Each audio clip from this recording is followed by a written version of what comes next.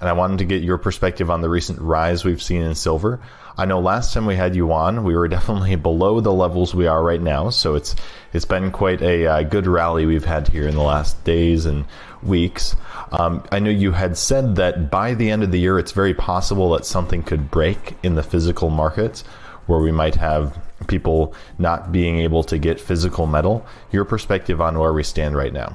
Well, I hope I didn't say very probable, but it is always probable that there could be some mismatch.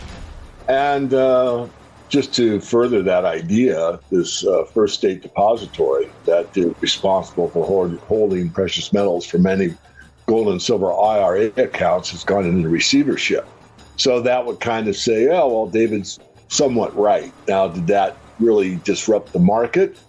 Well, no, it didn't really disrupt the entire silver market, but all those people that had precious metals IRAs, it certainly disrupted them to a great extent. So that's kind of what I was more or less trying to imply. But it, on a bigger scale, you're still correct. It could be something large enough that it affects the market at large. But, you know, that's a black swan. I think it's more important to focus on the overall trend than, you know, a particular black swan. But nonetheless, you have to bear that in mind. In other words, what you've said, what I've said, what your brothers have said, you know, if you don't hold it, you don't own it. And that's really the, the smartest place to be, even in an IRA. And I just want to jump on that a little bit more. I mean, when people ask if they want, you know, they ask David, what's your opinion on having gold and silver in an IRA versus outside of an IRA? I always have the same answer. It's best to have it outside of an IRA. But for many people, their only savings or the bulk of their savings is in an IRA. So on that, or, or some type of vested, you know, government approved savings program, a SEP IRA, Roth IRA, you know, whatever. So in those cases, I say absolutely, it's better to have it, you know, or some of it anyway, in precious metals than not at all. But as far as safety is concerned, you know, you want something that's that precious outside of any government intervention, if at all possible. And can you expand on the importance of that? I think that's really key. And then also with respect to storage facilities, I know all the storage facilities that Miles Franklin partners with are always going to be segregated, audited, and allocated, uh, which not all storage facilities are. Sometimes they're pooled and stuff like that. So can you explain the importance of kind of all of that? Sure. The, I've had about three consultations for people that had metal through an IRA in the state first state depository. And two of them were in segregated accounts. So if you read the uh, the contract, what it says about segregated, in theory, and I want to emphasize the word theory, they should be able to get their metal back because it's been, you know, segregated. The exact coins they put in are the exact coins they get out. That's what segregated means. Now, I don't expect that to happen, but at least I asked them to make reference to it and send it to both the IRA and also to the First State Depository Receivership website. And at least they have it on the record.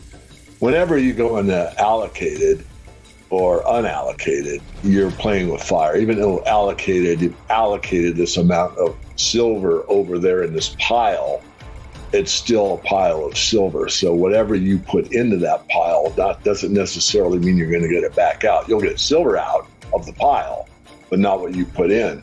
In a lot of cases, that wouldn't matter, like on an industrial user, but on an investment basis, I would always go for segregated and pay the more expensive amount for storage and be safe than I would on an allocated. Unallocated is just what it says. It's just silver flying around there. It can be paper, it can be physical, it can be a mishmash of um, loaned out silver that's due. It could be uh, partially options on futures. It could be a number of things.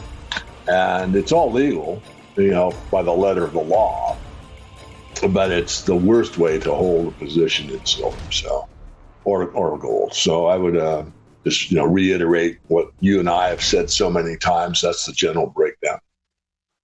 When we're looking at the supply of silver, um, if you look at, for example, the registered inventories, it seems like there's been a steady decrease ever since Silver Squeeze, and it's just gotten worse and worse. Um, can you expand for our viewers kind of what we're seeing right now on the COMEX and LBMA? Sure, as you know, said on many channels that there's been a huge drawdown, uh, both the COMEX and the LBMA. And again, going back to what I was talking about with this first depository and, and on the previous interview, that you know something could break. Again, what just think about this first state depository. Is that the only one that's doing some shenanigans, I'll call it, with the precious metals that is in their vault? And the answer is no. There could be another one or two or five or ten. I don't know. But I do know that there's the high probability of more than just first state depository. So that's the kind of uh, information I was trying to convey on the last interview. It's not necessarily something breaks on the COMEX or the LBMA, which it could. It's more subtle than that. It's more about, let's say, storage facility that's well regarded. First State Depository, well known and been in business for quite some time and, and highly trusted. That's why these IRA custodians used it because, you know, it, it was fine until it wasn't. So I think there's more of that to come.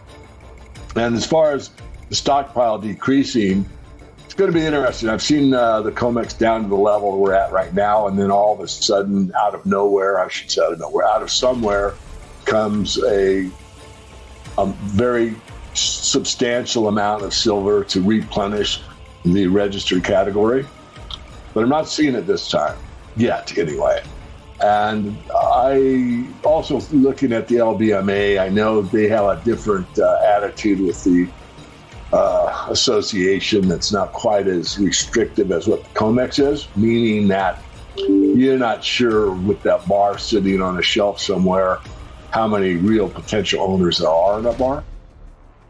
And so, even though the inventory may be there, there could be an overage of claims against it versus what the you know physical properties are. So I do think that we are getting close. I do think that the investment community that's moved into precious metals will continue to add to their stockpiles, their their investment, and the fact that Wall Street Silver and others have started to educate many people that were unaware of what happens at the end of the great empires when the inflation experiment comes to an end again and all fiat fails and knowing that it will fail probably within their lifetime at least for those that are you know certain age group so i think i've said enough but it's really important to realize that there are these subtleties going on behind the scenes in fact i talked to somebody that's really pretty grounded and well known in the silver community and they were unaware of this first state depository going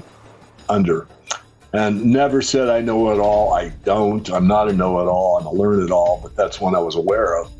But, um, you know, it's not front page news, uh, at least not uh, right now.